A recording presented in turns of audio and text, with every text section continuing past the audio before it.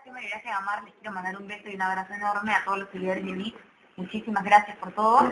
Les mando un besito y no se pierdan su número guachico.